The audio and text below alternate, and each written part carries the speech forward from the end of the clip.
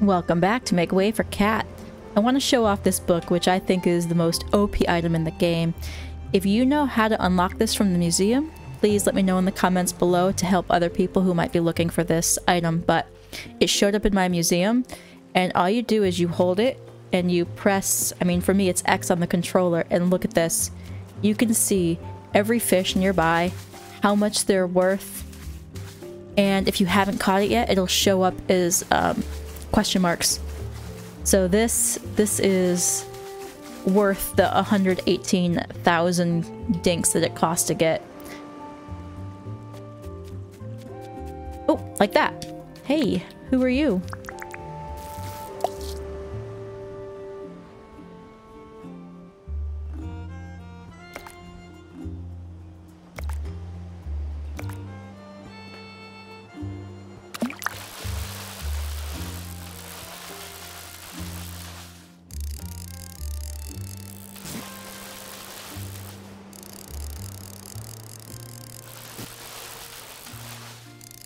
Get over here.